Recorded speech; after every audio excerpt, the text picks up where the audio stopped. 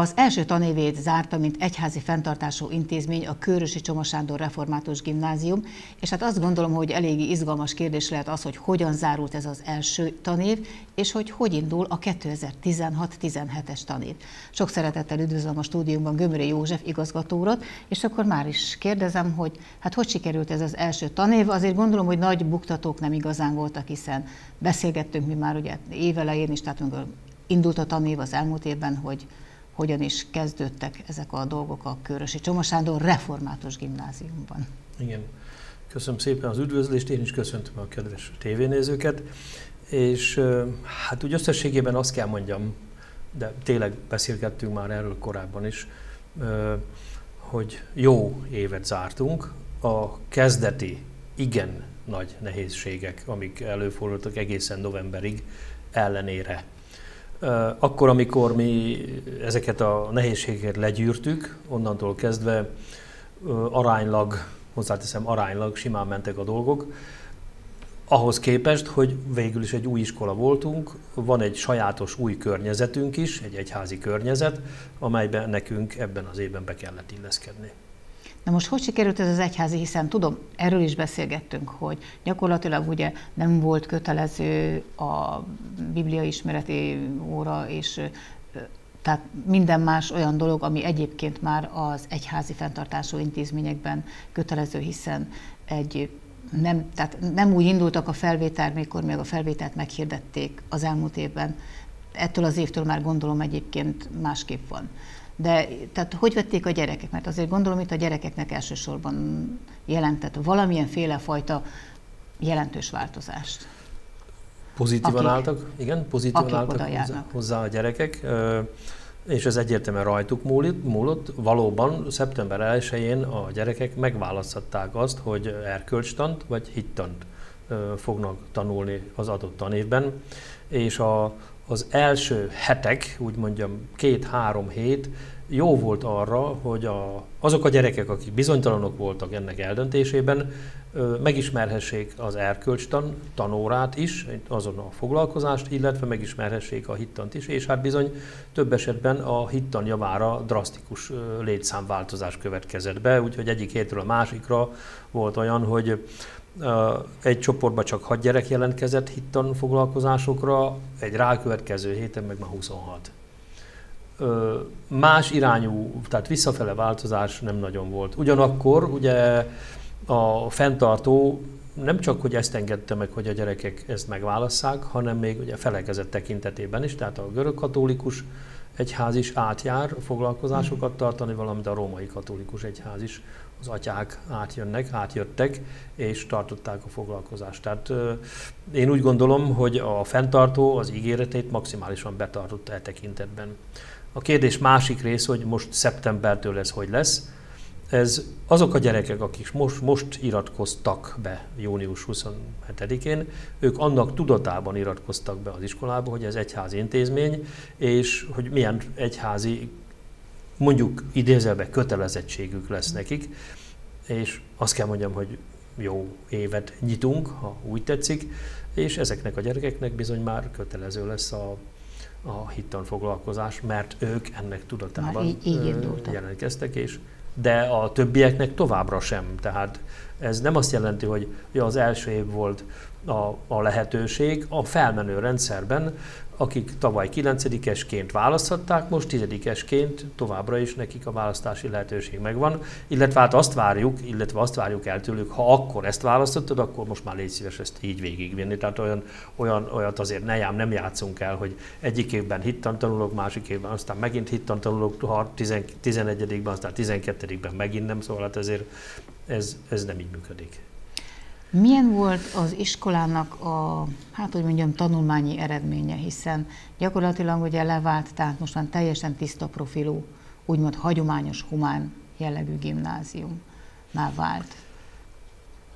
Tehát gondolom a követelményrendszer is picit másabb, hogy alakult a igen, hát ugye a, a, a gimnáziumtól alapvetően itt a városban, meg úgy egyáltalán a gimnáziumoktól azt, azt várják el, hogy az egyetemekre,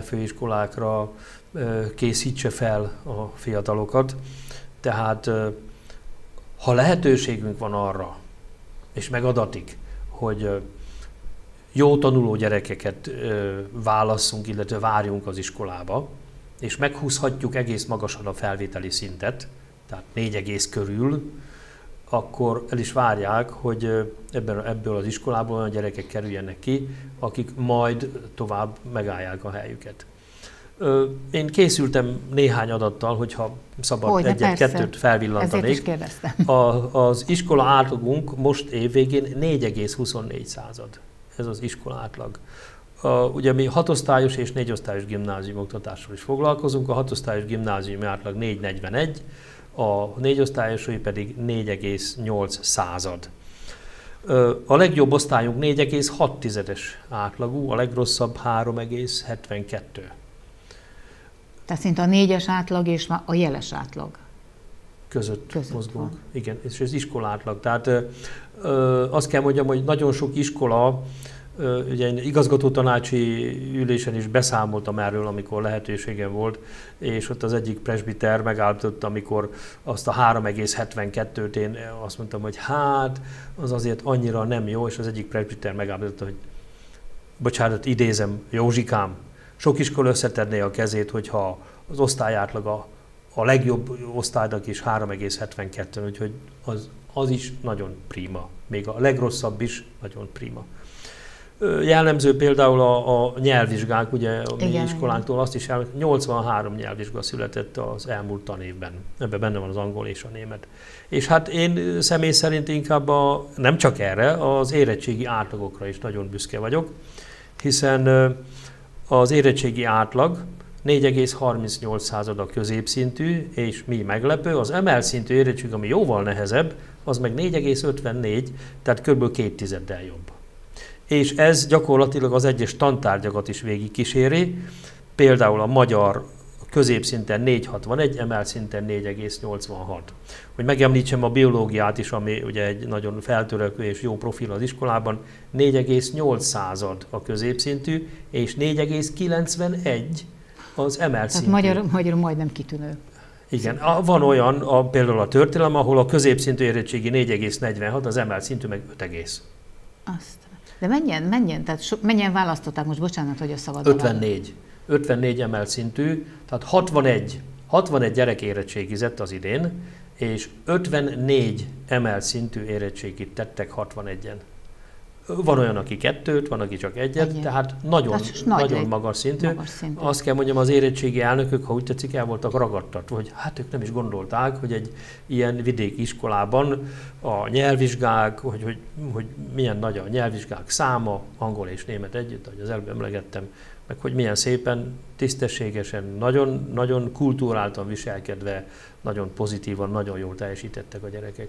Remélem, hogy ez a két érettségi elnök itt volt, nagyon jó hírünket viszi, és mondták is, hogy fogják is mondani, hogy igen, Hajdúnánáson a gimnázium az egy erős továbbtanulásra neveli, oktatja a gyerekeket. Mert hogy egyébként, tehát ugye vannak olyan most tényleg csak így általánosságban beszélve, hogy azért vannak olyan középfokú intézmények, gimnáziumok, ahol hát születnek szép eredmények, csak éppen tehát amikor megmérettetése kerül a sor, akkor derül ki, hogy igazából nem. De ez a körösi esetében én azt gondolom meg sem fordulhat a fejben, elő sem fordulhat, hiszen ugye épp a tanév vége előtt köttetett egy úgymond partneriskolai szerződés a Debreceni Egyetemmel, már pedig ő gondolom azért azt megnézik, hogy kivel kötnek ilyen szerződést, mert hát, hogy a jövő pedagógusainak a gyakorló helyéül választják, de erről egy picit bővebben beszélünk, hiszen egy riport készült, de azt gondolom, hogy ez megér egy rövidebb misét is. Igen, hát ö, nagy kitüntetése az iskola számára. Ö, korábban, még az én előző igazgatói ciklusomban történt az, és talán ez egy, ez egy pozitív előzménye lehet ennek a partneriskolai kötésnek, hogy elnyertünk egy kupát, amely egy vándorkupa, ami szintén ugyanerről a dologról szólt, hogy hmm. mi, egy 6-8 évvel ezelőtti középiskola, milyen jók vagyunk abban, hogy a felnövekvő pedagógus nemzedéket tanítjuk vagyis a, ahogy korábban mondtuk, a kis tanárok felkészítését bevállaljuk vidéki tanítás keretén belül. És ebben a megyében adott, az adott évben nem tudom megmondani, szerintem vagy 5-6 évvel ezelőtt történt valóban, akkor a megyében a mi kapta ezt. Na most számon tartottak bennünket, valószínűleg figyeltek is bennünket, hát nem nehéz a statisztikákat ma már ö, megnézni, és hát a, a megyében összesen három középiskola kapta meg ezt a lehetőséget, legalábbis egyelőre, hogy aztán ezt akarják tovább folytatni, vagy nem, ezt a partneriskolai kapcsolatot. Amúgy valóban ezt fog jelenteni, ez egy szerződés, melynek okán a következő években a leendő fiatal pedagógusok vidéki gyakorlata itt a mi iskolánkban is zajlik, hát attól függ, hogy mi milyen szakon tudjuk ezt produkálni, hiszen uh-huh. olyan, olyan kollégák kellenek, akik ezt a megfelelő végzettséget megszerzik. Tehát ugye azon a bizonyos megbeszélésen nem tudom, tehát hogy nem elég csak a szakvizsga, hanem a mentor tanári képesítést is meg kell Igen. szerezni, tehát Igen. ilyen formában, és hogy, hogy hogy látod, hogy milyen tantárgyak esetében realizálódhat ez? Mert gondolom azért nem mindegyik. De hát azért vannak erős, nagyon erős húzó tantárgyak a gimnáziumban. Uh, igen. Hát uh, elsősorban a matematikára, fizikára, hát mondhatnám azt, hogy inkább az érettségi tantárgyak azok, érettségi amelyek, tantárgyak, amelyek, amelyek fontosak. Illetve hát amely tantárgyakból valóban erős az iskola. Biológia, kémia, matematika, fizika, történelem, magyar. Fontos azt azért tudni, hogy akinek már van szakvizsgája, illetve közoktatásvezetői végzettsége, nekik már nem fontos elvégezni ezt a mentortanári képzést, ami különben két év, mert a jelenlegi lehetőségek megengedik, hogy akinek ez megvan, ők már lehetnek, ők már mentorálhatnak, ha szabad ezt mondani, hanem azok, akik majd ezután szerzik meg, ugye ez egy más szakvizsga jellegű dolog ez is természetesen, de kimondottan ö, olyan végzettséget vagy szakirányú képzést eredményez, mely kimondottan arról szól, hogy a kis tanárokat segítsék. És ez várhatóan, nem tudom, hogy erről esetleg folytak-e már tárgyalások, hogy melyik az a tanév, amikor már esetleg most itt ismét megjelennek a gyakorló pedagógusok. Ugye érdekes, hogy a, az országgyűlés vagy a kormány együtt a tanárképzést megszüntette, mint osztatlan képzést mint osztott képzést. Most már osztatlan képzés formájában történik, tehát aki egyetemi végzettségként szeretne a, a felsőfokú intézményű kilépni, annak 5 év.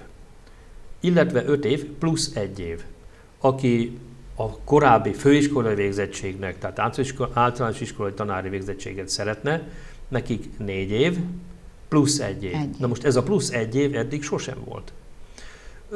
Az utolsó éven kellett a gyakorlóiskolában, illetve vidéki iskolában néhány hónapon, másfél hónapon keresztül ezeket a gyakorló tanításokat elvégezni. Most viszont egy egész év van erre rászánva, és a fiatal kollégának, a jelöltnek, a kis tanárnak, mindegy, hogy nevezük, szeptember 1-én elkezdődik az adott tanévben, mint hogyha ő is rendes tanár lenne, és ő nem is az egyetemre jár, hanem ide jár dolgozni, és nagyon sok órában kell tanítania.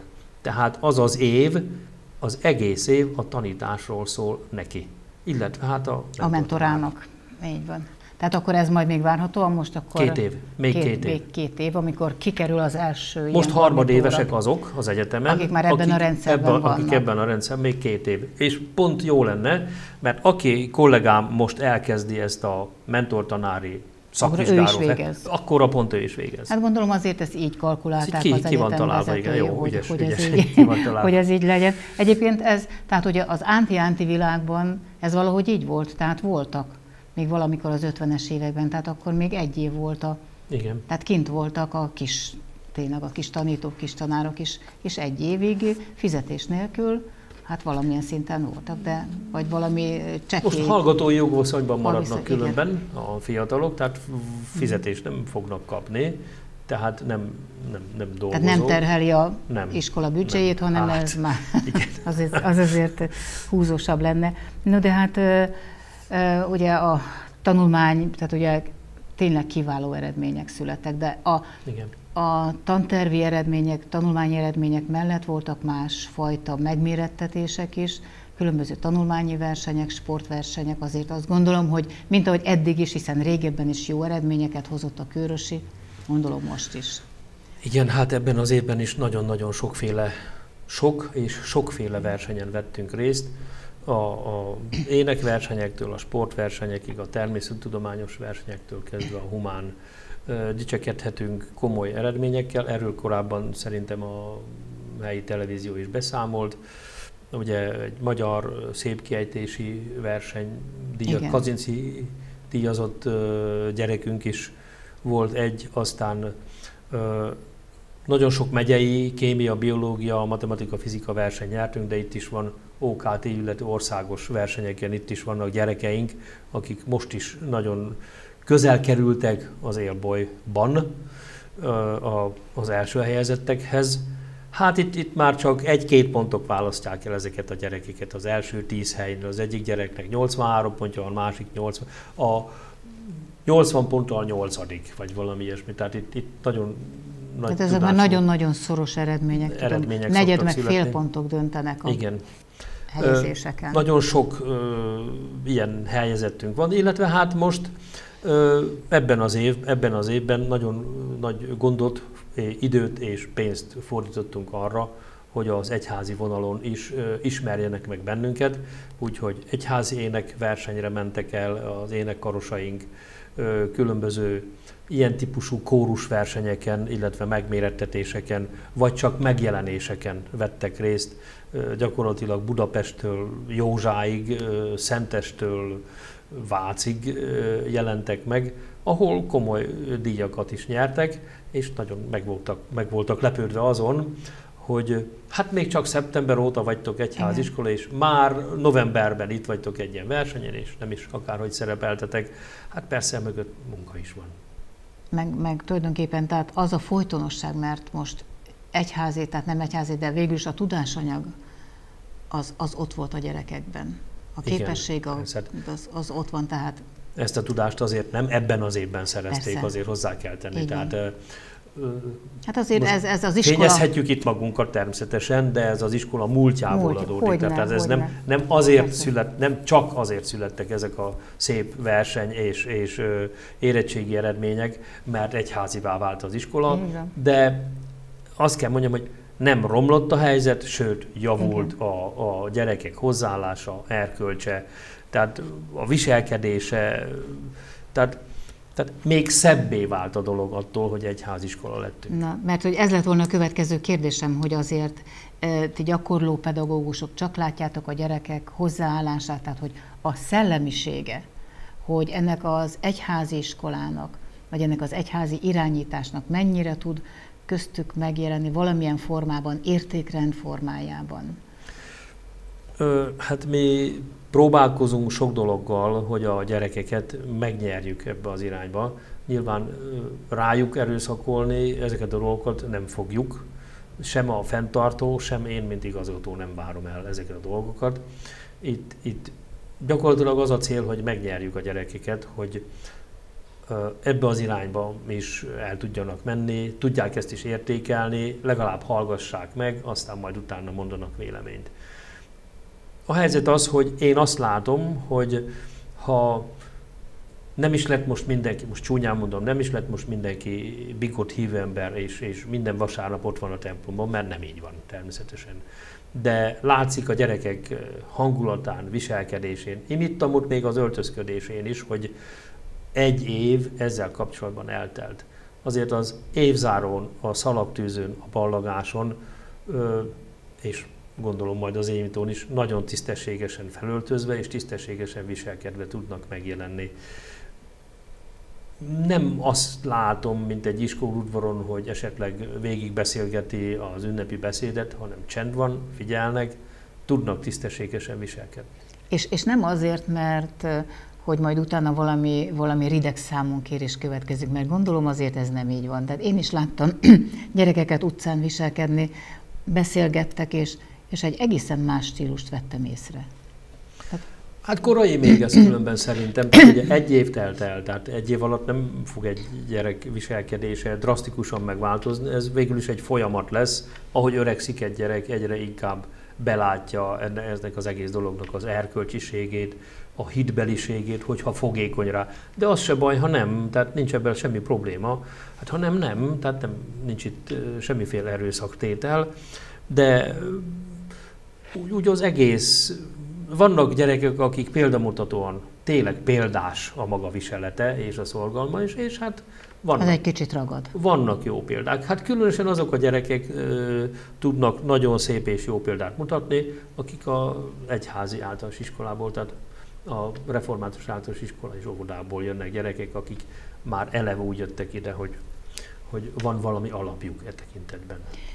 Tehát ugye ez volt mondjuk így röviden Dióhéjban a 2015-16-os tanév, mindjárt kezdődik a 2017-es tanév, ugye a második éve a, az egyházi fenntartású gimnáziumnak, hogyan indul tárgyi, anyagi, szellemi és mindenféle fajta tekintetben. Ugye én ö, már többször beszélgettünk, és én mindig elmondtam, hogy ö, hál' Istennek anyagi problémáink ö, nincsenek.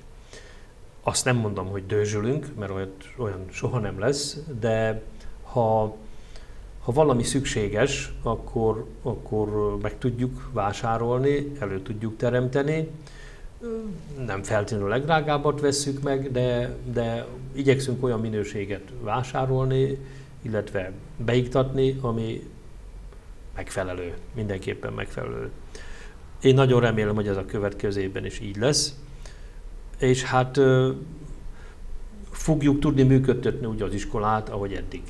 Most egy másik számítógép termet újítottunk, illetve hát a felújítás folyamatban van, illetve hát projektorokat, vagyis kivetítőket javítatunk, illetve ha szükséges újakat veszünk.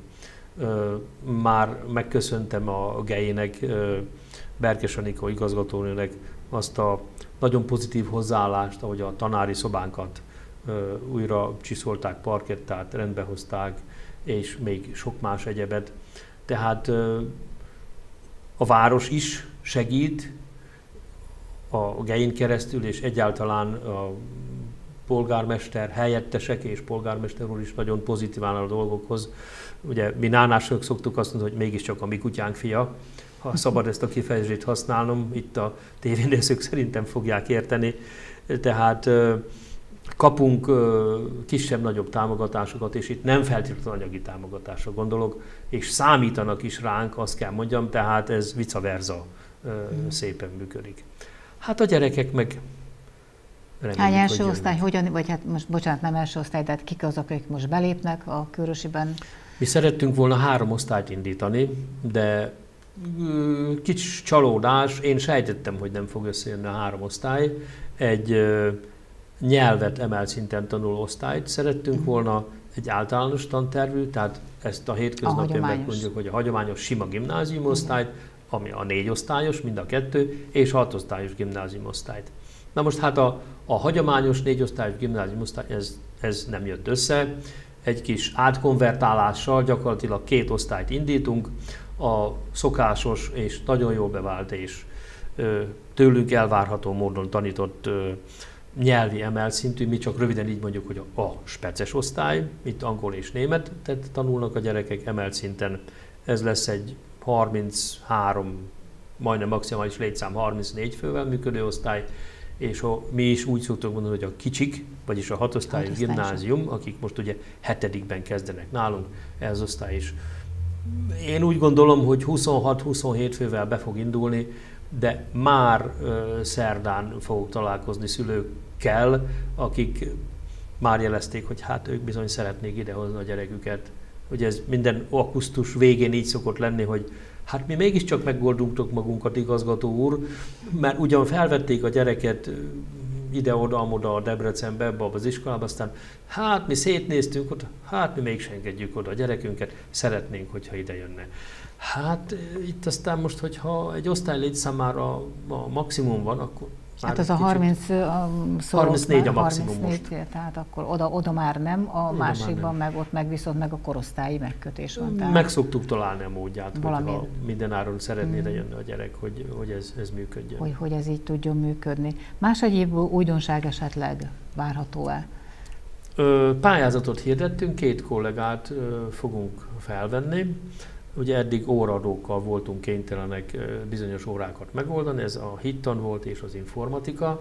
A pályázatra jöttek jelentkezők, ez holnap, holnap után el fogjuk dönteni azt, hogy kit veszünk fel, és akkor a, ezek a dolgok is megoldódnak, úgyhogy úgy gondolom, hogy szeptember 1-ével a tantestület most már eléri a szükséges optimális létszámot, úgyhogy az óraszámok is úgy alakulnak, hogy nem fogjuk 26 órában, 25 órában dolgoztatni a kollégákat, hanem csak 24 órában, de sok-sok csoportbontást tudtunk ennek hatására, ennek következtében megcsinálni. Igazgató úr, a tankönyvekkel hogy álltak, hiszen ez mindig egy nagyon fontos téma, hogy most megérkeztek, nem érkeztek meg, mi a hiány, ezt azért úgy megszokták lovagolni időnként a média. Igen, augusztus 1-én, ahogy ígérték, 10 és 12 óra között megérkeztek a tankönyvek, gyakorlatilag néhány kivétellel rendelkezésre áll mind, majd szeptember 1-én az első tanítási nap néhány óra hosszája a dél. Gyakorlatilag rámondhatjuk, hogy az egész délelőtt azzal telik el, hogy szerbe számba szedjük egymást, mármint a gyerekek, a kollégák, a tankönyveket kiosztjuk, az összes adminisztr- ilyenkor szükséges adminisztrációs feladatok, diákigazolvány, szüleigazolás, ugye ilyenkor kell nagyon sok igazolást kiadni, mert a nagyobbik testvér egyetemre fog menni, és akkor ki kell adni az igazolásokat, hogy van még egy gyerek. Ingyen tankönyvesek, stb. Tehát van, van mit csinálni az első napon, működni fog. Hát az az egy-két tankönyv, ami esetleg elcsúszott, már nem csak nem feltétlenül darabszámra, hanem fajtára, hogy mit tudom én, a 9-es matek könyvből kellett volna 28 darab, de nem jött csak 19 valamokból kifolyólag, hát akkor ezek egy-két héten belül meg szoktak oldani, nem pótolni. A gimnáziumban kik jogosultak ingyenes tankönyvre? Mennyi ez nálatok? Hát akik három gyerekesek, ők, Tehát a, Hát ez ugyanazok a, ugyanaz. ugyanazok a szabályok, mint az összes többi esetben. Mm, akik valamilyen segélyben részesülnek. Igen, hátrányos helyzetű. Hátrány, hát három hások, igen, ők elsősorban. Ez különben kicsit érdekes, mert akkor, amikor a tankönyvet megigényli február környékén, akkor még ő lehet, hogy jogosult arra, hogy ingyen tankönyves legyen. Mire meg fel kell venni a könyvet, úgy alakul a családi helyzet, hogy már meg nem, teheti ezt meg, ebből szoktak a férok lenni, illetve fordítva is elő szokott fordulni, hogy akkor, amikor rendelte a könyvet, még fizetős volt, ha szoktuk ezt a szót mondani, és mire a tankönyvet meg kellene vásárolni, akkor meg már lehetősége van, hogy ingyen tankönyvessé váljon. Hát ezt megint rugalmasan nagy, nagy rutinnal rendelkezik. Nem tudom, hogy esetleg végeztetek-e valamilyen fajta ilyen összesítést, hogy hogy úgy nagyjából a szülőpénztárcát mennyire terheli meg a tankönyv, tehát most az ingyenesettől eltekintve. Hát Mennyire által... drágák a tankönyvek igen, manapság? Főleg a nyelv, nyelvi könyvek, igen. meg a szótárok szoktak drágák lenni, illetve hát általában a matematika fel a gyűjtemények hmm. szoktak előfordulni, és mi ezt, hát a nyelv ő nem nagyon tud spórolni, ő nem, nem, nem nagyon tudja megtenni azt, hogy ne vásároltassa meg ezeket a könyveket. Bizony, így a kilencedikesek, a speces gyerekeknél akár 30 ezer forint is előfordulhat, hogy olyan sokba kerül a tankönyv. Viszont a későbbiek folyamán, mert gyakorlatilag 9 nagyon sok mindent megvásárol, az, ami a következő két-három, vagy Tehát akár négy kimenőig elég neki. Így van, és akkor már nem kell újra szótárt venni. Mint ahogy matematikánál nem kell minden évben függvénytáblázatot venni, nem kell megvásárolni az összes feladatgyűjteményt. Mi matekosok, ha szabad most a szakot, szakról is beszélni, igen. Mi ezt úgy szoktuk csinálni, hogy ami nagyon szükséges 9-ben csak azt vétetjük meg, majd 10-ben újabb feladatgyűjtemény, 11 meg megint, ha szükség. Tehát mi megpróbáljuk egyenletesen eloszlatni ezt a dolgot, hogy ne terhelje annyira a szülők pénztárcáját. De jellemzően van olyan 10-12-es gyerek, akinek 8-9 ezer forintból kitelik a tankönyv. Már annyira kevés dolgot kell neki vásárolni, mert az előző években már sok mindent megvásárolt. Utolsó kérdésként, tanévnyitó, mikor lesz? 31-én, 30-án? 31-én délután 4 órakor a templomban. Tehát akkor ünnepélyes keretek közt ismételten. Tehát az szép nagyon. Igazgató, nagyon szépen köszönöm a tájékoztató beszélgetést, és azt Kérem. gondolom, hogy szép eredményekről tudtál beszámolni, hát csak továbbra is ugyanígy. Köszönöm szépen. Köszönöm, hogy itt lehettem.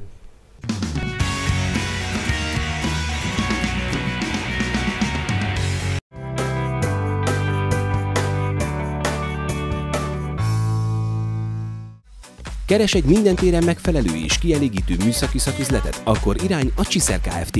Televízió, tablettek, mobiltelefonok, számítástechnikai kiegészítők, kávékapszulák, mosógépek, ruhaszárítógépek, hűtő- és fagyasztógépek, gáz- és kombinált tűzhelyek, kis háztartási gépek nagy választékban. Színben, méretben, formában nálunk olyat talál, amilyet csak akar, és minden mást, ami műszaki cikk. Keresse Hajdunánás legnagyobb műszaki szakáruházát a Széchenyi körút 36 szám alatt.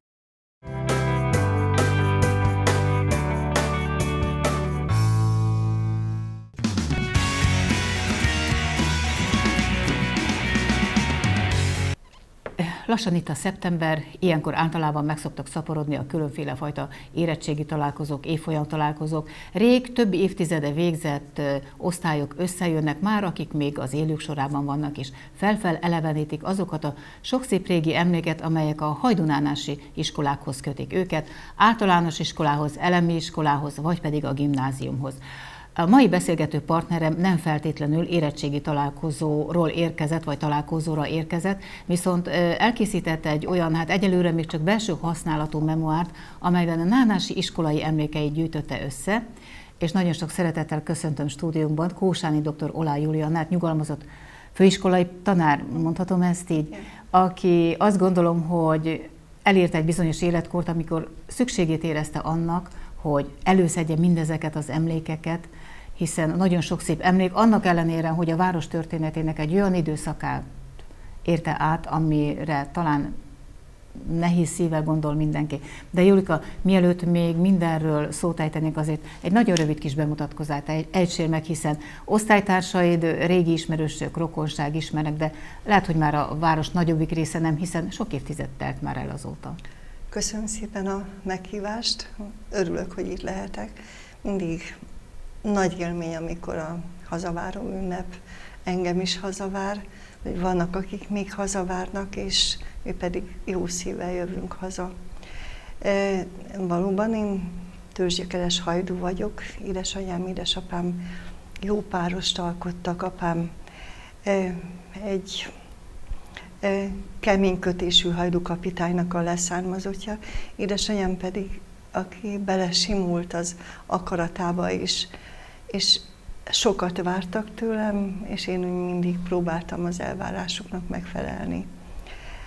Egyke voltam, meg elég kemény szeretettel neveltek, és magyar-német szakos tanár lettem. Férjem kémia-fizika szakos tanár, építészmérnök, és egy olyan helyet kerestünk letelepedni, ami közel van mindkettőnk szüleihez, családjához, illetve Nyíregyháza az Origó, ahol eh, a szülőket, a rokonságot könnyen elérhettük, és eh, középiskolás, öt év középiskolás eh, van eltöltött év után a főiskolára kerültem tanítói tanszékre, majd a magyar-német szakom révén a német tanszék alapítója lettem, és tulajdonképpen úgy mentem nyugdíjba, hogy, hogy a német irodalom és a német módszertan oktatója voltam, és e, Nyíregyházán otthon vagyok, jól, jól érzem magam, jól vagyok otthon, e, családban. Férjem két éve meghalt, van két gyerekünk és négy unokánk, tehát zajlik az élet körülöttünk, és mindig jó hazajönni Nyíregyházára. Hát ennyit így a bemutatkozásként. Köszönjük szépen, e, Julika, és akkor, és akkor röpüljünk egy picit időben vissza oda az 50-es évek, hiszen mikor is kezdette, pontosan akkor már általános iskola volt. Tehát, hogy 45-ben, bocsánat, akkor Hát, tehát bocsánat, pont háborús igen, időszakban igen. születtél tehát. Én úgyis ezzel akartam kezdeni én is a bemutatkozást tulajdonképpen, hogy, hogy mi 45-ösök, akik 45-ben születtünk, azért eléggé kemény világba csöppentünk, és ugyanakkor, tehát egyik oldalról ott volt a háború okozta seb, a halálesetek, a rombolások, a pusztulás, másik oldal ott volt az emberekben a béke, a békevágy, és akkor ott voltunk mi, a alig hat éves gyerekek, akik ebben a világban egyre inkább érzem azt, hogy mennyi féltő, szerető segítséggel hittünk abba, hogy tényleg béke lesz, és ugyanakkor éreztük azt is, hogy, hogy mennyire sok veszély leselkedik el. Nem biztos, hogy fölfogtuk, hogy mik azok a veszélyek, de tulajdonképpen nánás, hajdunánás, az iskola, a család, a, a templom, a, a közvetlen környezetek, a rokonság ezt a biztonságérzetet nyújtotta számunkra. Tehát írod a visszaemlékezésedben, és, és engem ez nagyon megfogott, hogy, hogy nagyon sokan, tehát az iskola is, mint ahogy most is mondtad, hogy egy, egy, egyfajta ilyen védőbástya volt. Tehát nem feltétlenül a történészek elég sokszor egyoldalúan festenek le egy bizonyos korszakot. És azért nagyon sok olyan vélekedés látott napvilágot, hogy azért Hajdunánás, így is nevezték bizonyos körökben, hogy a kis Moszkva. Tehát, hogy nagyon mhm. sok olyan ember volt, és a város irányítását végezték, akik nem feltétlenül abban a szellemben gondolkodtak, mint amiben például te is felnőttél, vagy belenőttél. Tehát azért a, a apostoleleket is emlegeted az írásodban, tehát a, a református hitben élő emberek világával Igen. kapcsolatos.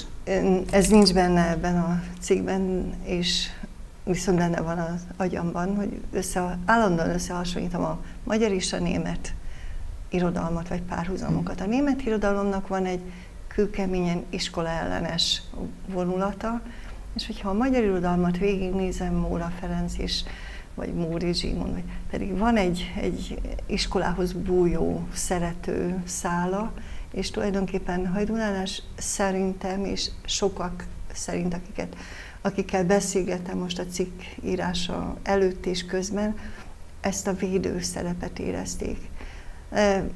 Voltak bizottságok, akiknek az volt a feladata, hogy, hogy megkérdezik a kedves szülőket, hogy miért iratják hitanra a gyereküket be, és voltak szülők, akik vállalták, és voltak apostolelekek is, akik között, körül egy olyan közösség gyűlt össze, akiktől hát megtanultunk valamit, amiért ma is hálás vagyok. E, és, és tulajdonképpen, tehát én, tehát én nem nánás vagyok, tehát én nem, nem éltem ezekben az években de hát ugye beszélünk arról, tehát ez az 50-es évek eleje, tehát a legkeményebb rákosi korszak legkeményebb rákosi diktatúra. És ha megnézzük azokat a konfirmálós fényképeket, csak ezeket, hát ott rengeteg gyereket látunk. Így van. Abban az időben, amikor tulajdonképpen tehát igazán a szülők vagy merték, vagy nem merték, de hát ezek szerint mégiscsak merték. Igen, az egyik tehát, legdöbbenetesebb... ellentmondásnak tűnő igen. dolog, de hát nem tudom, hogy... Az egyik legdöbbenetesebb régi kép, mert ugye most már ezrével születnek a, a digitális képek, mi még egy egy-két kicsi képet őrzünk, hogy valóban apostolelek szárnyai, védőszárnyai alatt egy óriási gyereksereg van, és ez volt az egyik első komoly közösségünk, ahol ahol tényleg szárnyaltak az énekek. Emellett azért a mi gyerekfejünk egyértelműen fölfogta, hogy szép az is, hogyha a piros nyakendőt fújja a szél, vagy, vagy ha a zászlófelvonás előtt tisztelgünk, az, az, az is hozzátartozik a napunkhoz. Hogyha május 1-én kivonultattak bennünket, akkor mi majálisoltunk, és ezek um, valamilyen szinten békésen megfértek a, a gyerek buksingban, mert mi azt hiszem, hogy, hogy egyfajta tényleg védőburokban voltunk, hogy, hogy ezt tanultunk mi tanmeséket Rákosi pajtásról, Sztálin elvtársról, nem emlékszem rá. De azokra a klasszikus ö, csoda versekre, mesékre, amiket a tanítóink a fejünkbe plántáltak, azok megmaradtak. Vagy hogyha visszagondolok, tulajdonképpen tud, nem tudtuk, de sejtettük, hogy, hogy a tanáraink közül rengetegen vannak olyanok, akik valamilyen szinten priuszt kaptak a diktatúrától, és ők miközben védték magukat, féltettek bennünket, és volt valamilyen, volt valamilyen furcsa, hát én is tudom, hogy hajdúsnak nevezzem, vagy, vagy sokkal szelidebb, de, de egy, egy olyan védőburok légkör, ahova, ahol megbújhattunk, ahol ezeket a sebeket sejtettük, nem voltunk azért buta gyerekek, de nem annyira az iskolából kaptuk őket, hanem inkább otthonról tudtuk, hogy feljelentések, kerítések, házkutatások, rejk, recskre, tedejre cipelések, és titkok, titkolózások, de tudtuk azt is, hogy egy-egy tanári cirogatás mögött benne van az is, hogy védlek, mert én tudom, hogy a te szüleid hasonló gondokat éltek át, és belőletek lesz majd az az ember, aki folytatja azt, amit mi elkezdtünk. Ebben az írásodban, de hát gondolom, hogy az íráson túl is az emlékeidben számtalan olyan pedagógust őrzöl, tanítót, tanárt őrzöl, akikre nagyon-nagyon-nagyon jó szívvel és hálás lélekkel gondolsz. Ezek közül az egyik volt például, és ez azért érdekes, mert hogy még ennek a korszaknak a politikai vonulatához tartozik, ez a Valitante, tehát ez a Báró Vidák Valéria és a férje Pados Gusztáv lovassági tábornok, akik itt Hajdunánáson egyfajta kitelepítési program keretében kerültek ide. Mit is köszönhetsz te Valitantének, Vali néninek? Nehéz volt kiválasztani, hogy hát, is, tehát amikor az iskolákról, a két iskolámról mhm. írtam, akkor, akkor úgy gondoltam, hogy két-két tanári portrét választok ki, akik különösen közel álltak szívemhez, akik miatt ezt a pályát választottam. És az egyik közülük a Bali néni, a Tante Bali volt. Ez pedig a következő a történetük, hogy, hogy megjelentek itt Hajdunánáson, mint bárónő és lovassági tábornok. Őket az a szerencse érte, hogy nem Recskre telepítették, nem Málenki robotra hurcolták, hanem egy hajdusági kisvárosnak egy mini albérleti szobáját megkapták, és azt mondták, hogy éljetek itt. És ők megérkeztek ide, és Marinini kezében volt egyetlen egy német könyv, az agyában egy csomó német tudás, hisz őt német nevelőnők nevelték, és azt nem tudom, hogy milyen lehetett Valinini tánc bárkirálynőnek, akit mindenki, mint bárónő tisztel, hajlong előtte, és milyen lehetett Kuszti bácsi, mint lovassági tábornok, de Valinini nagyon jó tanár volt. Őt meg kellett élni, és akkor ő kitalálta azt, hogy itt van egy német könyvem, németül tudok, és meg kell, el kell tartanom magamat, meg a férjemet. Itt volt mellette a város, aki azt mondta, hogy izgalmas kaland, igent bólintott rá, és um, tulajdonképpen elkezdtünk toborzódni körülötte gyerekek. A rendőrkapitánynak, az állatorvosnak, a TSZ elnöknek, a Csizmariának, a varrónőnek a gyerekéből toborzódtunk, és ebbe a pici albéleti eh, szobába eh, egy szemkönyvvel a háttérben tulajdonképpen egyfajta kommunikatív, tankönyv nélküli alternatív módszert játszottunk, mondókákkal, dalokkal. Guszi bácsi rajzolta a, a kis karácsonyi üdvözlő lapokat. Ha jó idő volt, akkor a ligetbe mentünk sétálni, és akkor, akkor csak németül játszottunk.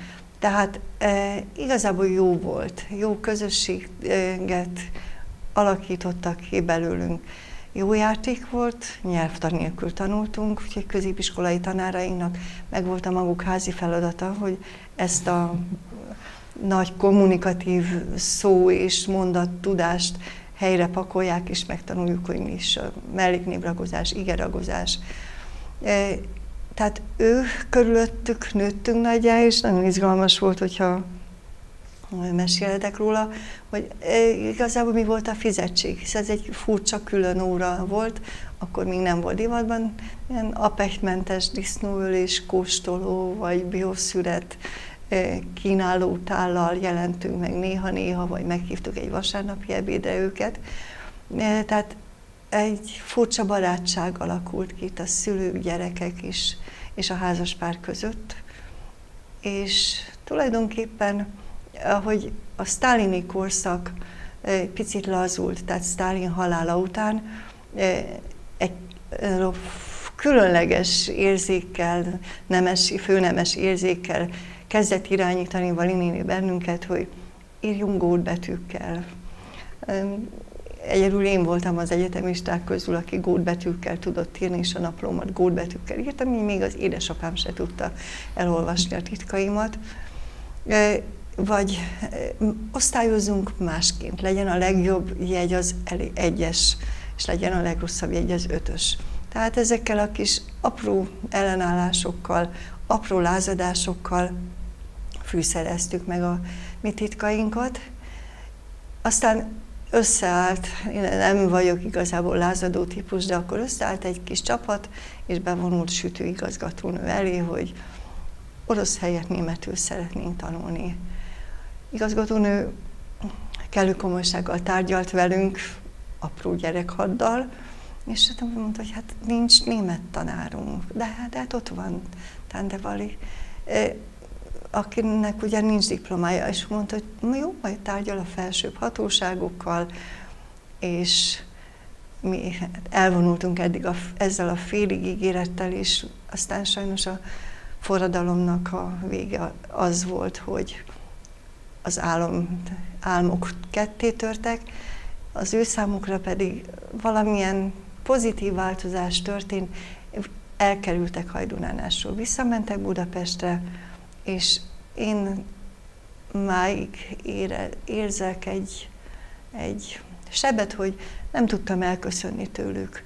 Nem tudtam megköszönni nekik, hogy tanárnő német szakos tanár lett belőlem, és úgy érzem, hogy hát ha lesz valaki, aki, aki fölkutatja ez, ezt a pesti folytatást számukról, részükről. Uh, Vali néni mesélt, tehát ugye utaltál rá, hogy Bál királynő, tehát mesélt egy picit arról az életről, amit ők azt megelőzően, tehát háborút megelőzően éltek. Tudtatok ti erről valamit, vagy pedig vagy pedig ez nem volt téma? Nagyon intim volt, nagyon, tehát el tudtuk képzelni a teremnek a varázsát, amikor egy-egy díszes papírral fölrajzoltunk, vagy kidíszítettük, és, és akkor mi is eljátszottuk, hogy is mi is bár királynők vagyunk, de tulajdonképpen direkt soha nem politizáltak velünk.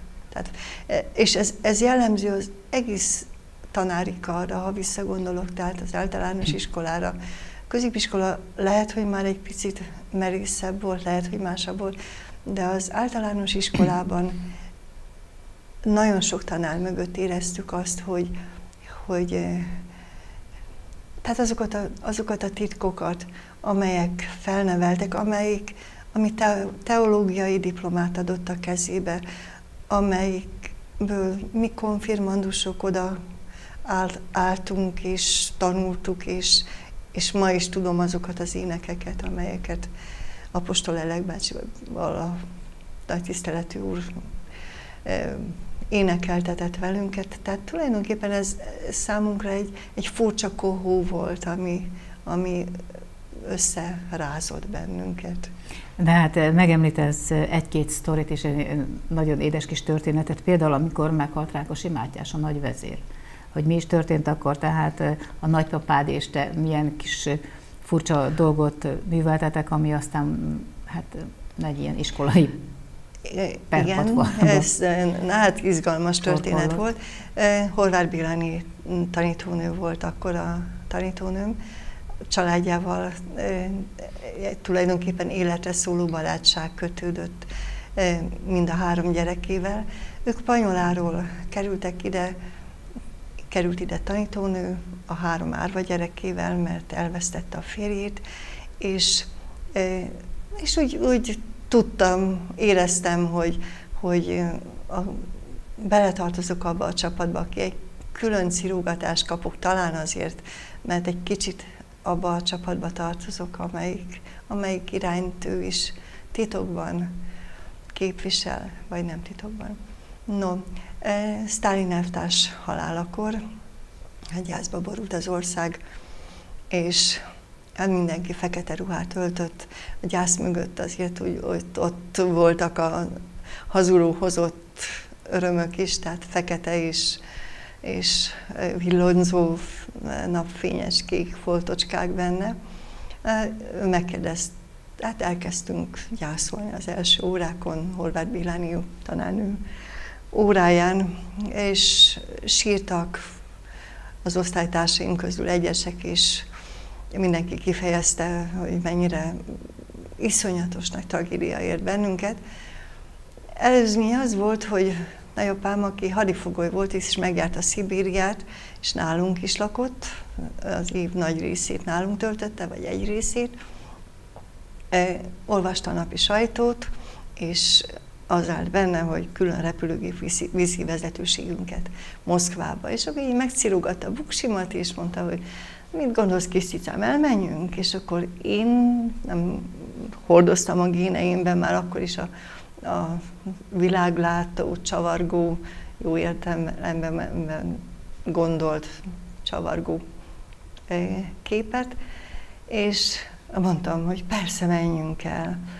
Meghallgattam az osztálytársaimnak a fényes cirádáit, és akkor szelíd egyszerűséggel szerintem felálltam, és úgy bejelentettem röviden, tömören, hogy én pedig nagyapámmal külön repülőgéppel elutazok Stalin elvtárs temetésére. Ez olyan döbbenetes mondat volt, hogy ezt, ezt nem lehetett überelni. És mindenki hallgatott, tanítónő másnap meghívatta édesanyámat, és akkor azt mondta, hogy de csupa igazságból gyúrt kislány ez a Júlcsi hogy mondhatott ilyet? Édesanyám nem tudta az igazságot, úgyhogy minket is megidéztek, főbűnösöket, nagyapámat és engem, és elmondtuk, hogy hát ő ezt mondta, én elhittem, és végsősorban az én nagy hazugságom tulajdonképpen egy nagy igen volt, mert, mert hittem, hogy ó, megyünk kaland, de nem mentünk természetesen. No hát azt gondolom, hogy még számtalan az általános iskolához kötődő emléked van, de az időnk végessége miatt ugorjunk egy picit időben előre, tehát ugye itt tehát itt érettségiztél, itt a középiskolai tanulmányaidat, de hát ez is nagyon érdekes volt, hogy kiválasztott ki akkor téged, és hívott mert hogy dilemmáztál, hogy most akkor reál legyen, vagy pedig a humán tagozat. Nem, nem is tudom, hogy ez, ez a mai diákok fejében egyáltalán mennyire fogalom, akkor kőkeményen ketté osztottak bennünket.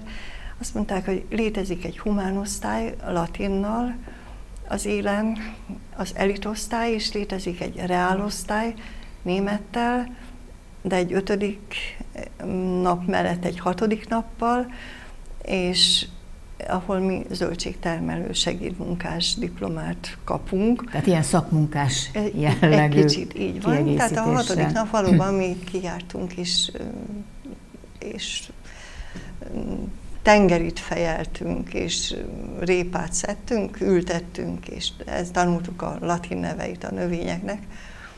Ez, tehát a két dolog között kellett választani, és hát ott volt a lenni vagy nem lenni, tenni vagy nem tenni nagy kérdés, mondjuk Rúsica volt akkor az legjobb, legjobb barátnőm, és ott toporogtunk, mint egy mesdjén, hogy merre menjünk. Menjünk a humán műveltség felé, hiszen vagy próbáljuk meg, és hát majd a sors eldönt, és ez a sors, ez Péteri tanárnőnek a, a hangjából csendült ki, aki úgy odaállt mellénk, és azt mondta, gyertek a osztályomba, jó csapat leszünk. És akkor ezt úgy fogadtuk el, hogy mint egy meghívást, és mentünk utána. És így lettünk mi is az ő csibéi, és tulajdonképpen soha nem bántam meg, hogy, hogy ezt az utat választottam. Zöldségtermeléshez nem értek, de emberséget, módszert, tudást, szeretetet, rengeteg mindent kaptam tőle és a férjétől, akik mind a ketten tanítottak. Tehát Nyuci néni és Lajos bácsi már most ugye nagyon sokan így ismerjük őt, tehát ő végig, tehát ő volt az osztályfőnököd végig, akkor Nyuci néni, Péter néni? Majdnem végig, amikor megszületett a harmadik gyerekük, akkor rövid időre a férje vette át az irányításunkat, de tulajdonképpen mindvégig ő volt az osztályfőnök. Tehát akkor az a bizonyos lázadás vagy sztrájk, amit végig is, tehát ezt még minden feltétlenül meg kell osztani a nézőkkel ezt a történetet, mert hogy ez egy érdekes dolog volt a gimnázium, gondolatom szerint a gimnázium történetében, és igazából csak azok emlékezhetnek rá, akik ebben az osztályban voltak, illetve hát akik még pedagógusok közül átélték.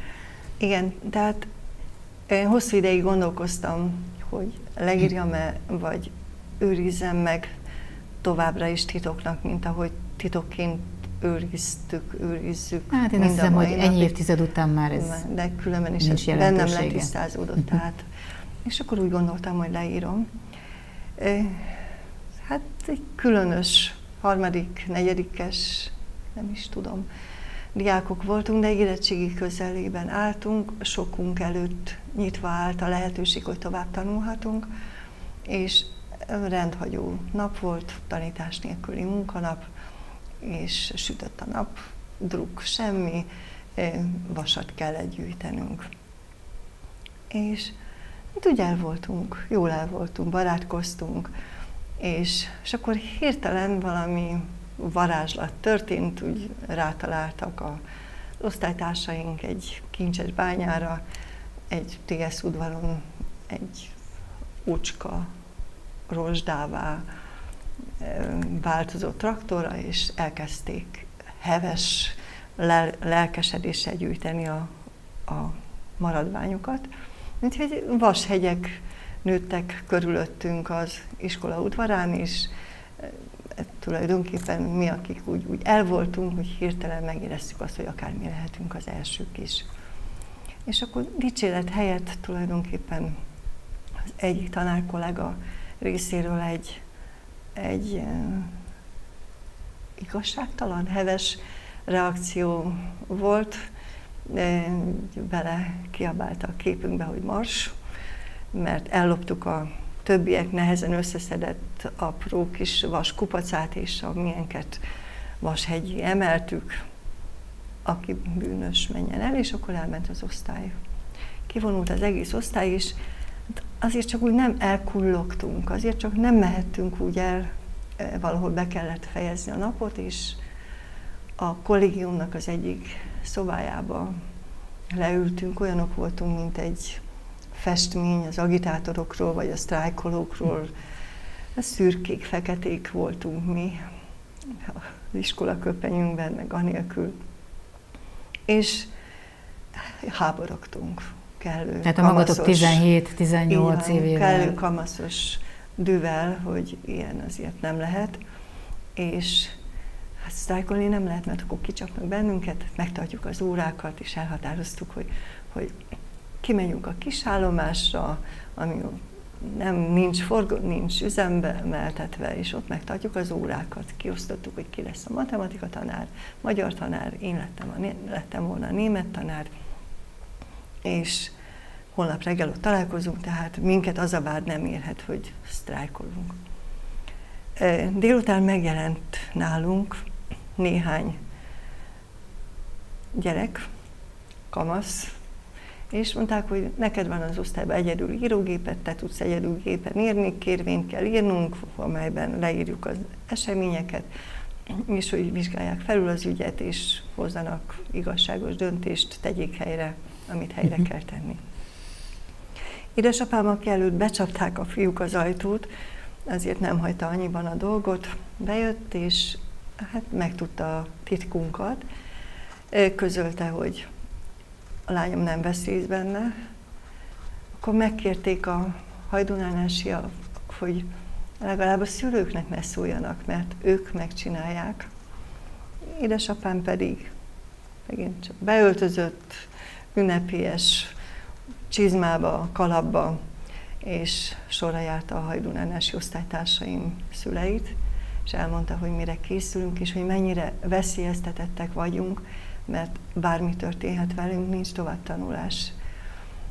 És ahogy az elmúlt napokban megtudtam ezek a tényleg ilyen furcsa titkoknak a folytatását, apám reggel 6 órakor ott toporgott a Péteri házaspár ajtaja előtt, és elmondta, hogy mire készül a gyerekhad, védjen meg bennünket tanárnő. És aztán megint nem tudtunk róla, majd lassan és fokozatosan oldódnak fel itten a, a titkok, hogy másnap engem majdnem, hogy bilincsbe láncolva, szóval az apám úgy megfogta a kezemet és behajított az iskolába, hogy itt maradsz. Még rajtam kívül volt két-három kislány, akit hasonlóképpen odahajtottak a szülei.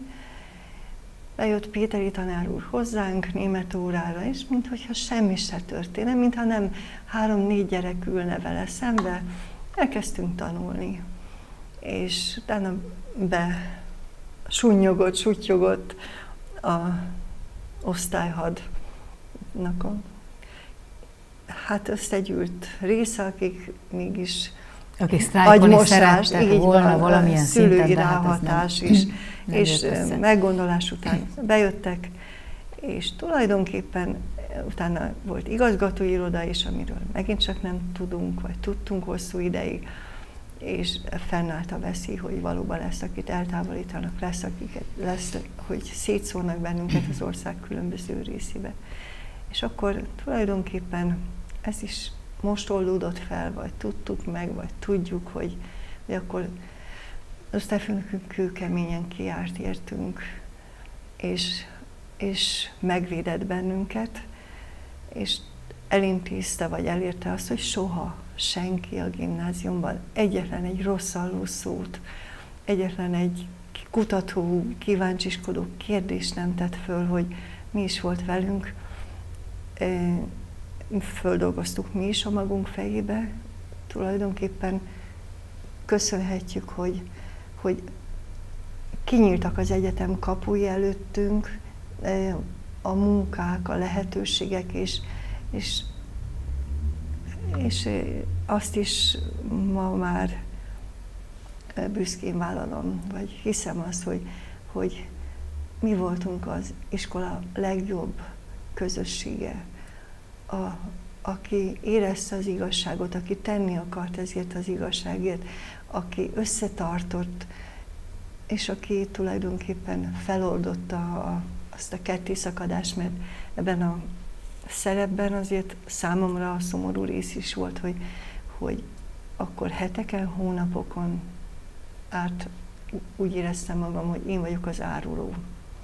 És Ezt te ebből... érezted, bocsáss meg, te érezted, vagy pedig éreztették is esetleg osztálytársak? Először éreztették, mert volt, aki nem köszönt, aztán utána egyre többen köszöntek, aztán egyre többen jöttek el hozzánk, édesanyám egyre több zsíros kenyeret kent meg a érettségire készülők számára, és amikor érettségén titokban össze is kellett tartanunk akár, akkor ez a befogadás, elfogadás ott volt, de ott volt hosszú-hosszú ideig a hallgatás is. Tehát mindenki magában dolgozta föl is, és most, hogy írni kezdtem, írjam ele, vagy hallgassak tovább, akkor derült ki, hogy ki hogyan dolgozta föl, és, és hogy végsősoron feloldódott bennem is, és hiszem azt, hogy feloldódott a többiekben is, amit akkor mi kemény élménynek értük meg, de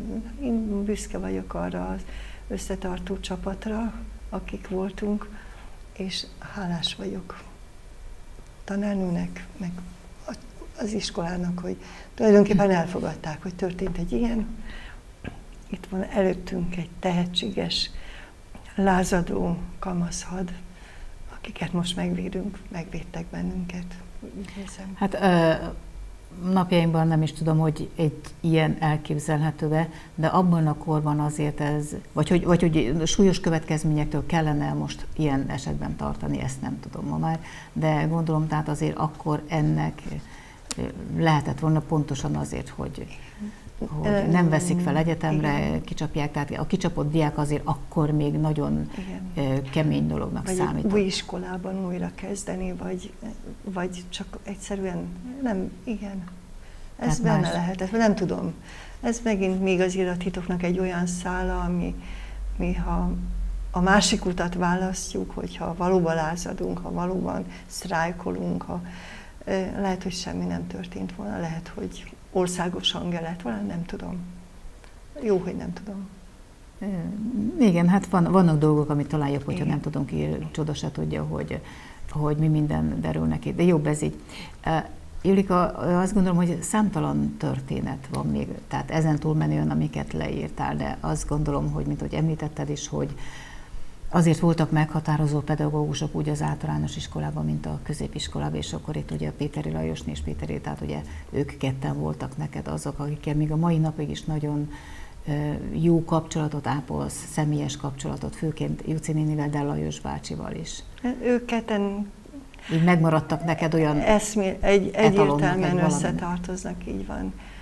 És elhangzott, nem csak kitaláltam, amikor azt mondták, hogy nem három lányuk van, hanem négy, és hogy köszönöm nekik, hogy tényleg gyermekükként szeretnek, és, és hogy én ezt érzem, ezt mindig éreztem, hogy védtek, hogy tőlük, de rengeteg mindent tanultam, emberségből, pedagógiából, eh, humorból, az a családokkal való kapcsolattartásból, az, hogy ma is, ma is név szerint emlékeznek ránk, az, hogy nem felejtett, nem, nem egy le, valakik voltunk, akik eltűntünk, hanem, hanem ott vannak az életünkben. Tényleg, ha hazajövök, akkor mindig elmegyek hozzájuk.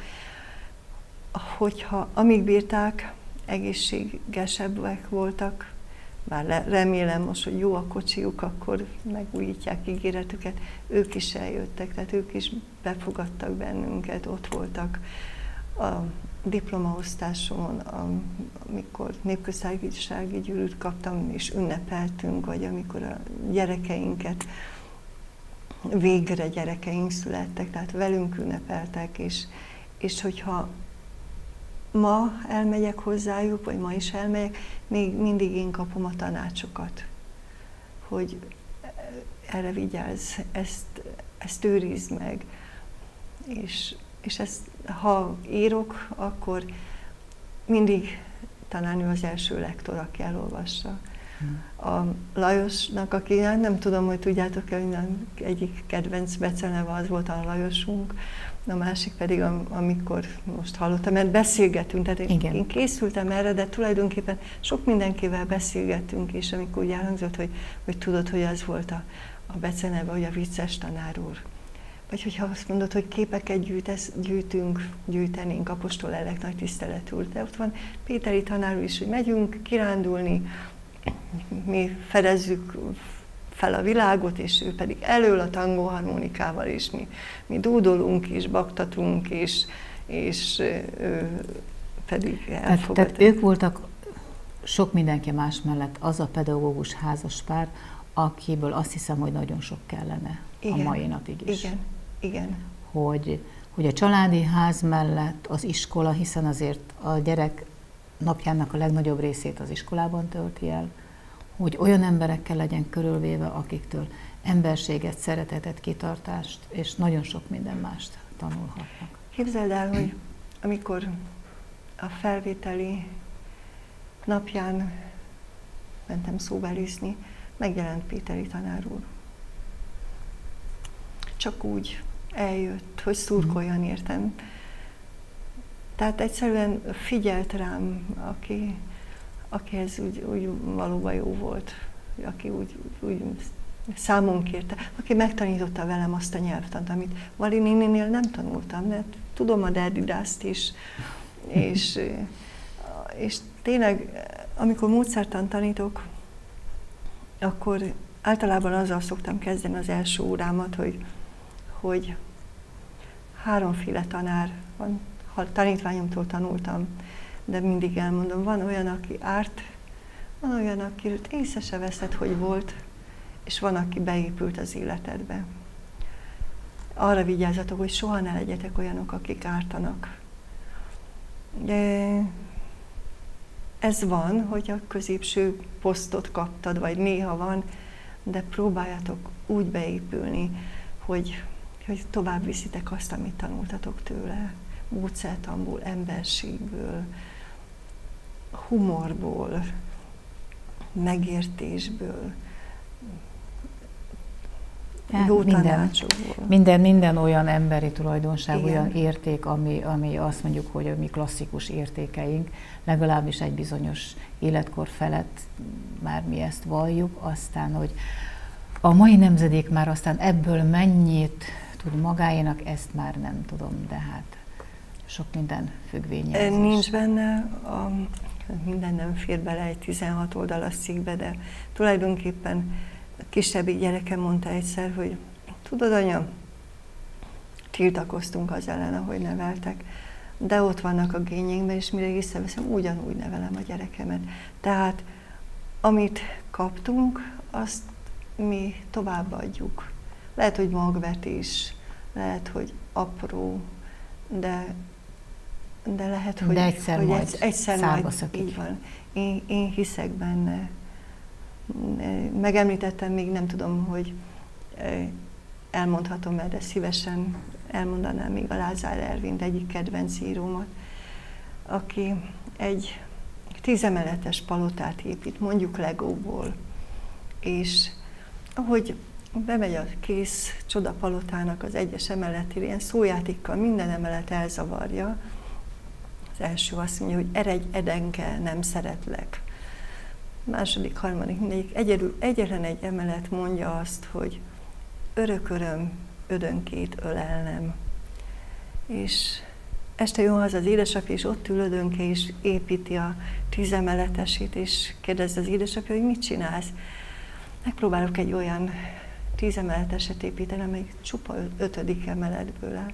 Ezt csináljuk. Tehát ezt, mhm. én amikor most itt hazajöttem, ezt éreztem, hogy ezt kaptam tőlük, akiket említek, kiemelek, tőlük, akik, akikről nem beszéltem, de tulajdonképpen tegyék a többiek. Ez olyan az egész, mint egy óriási nagy impressionista szűtes. Én ide tettem a magam képeit, anekdótáit, gondolatait, folytassák a többiek.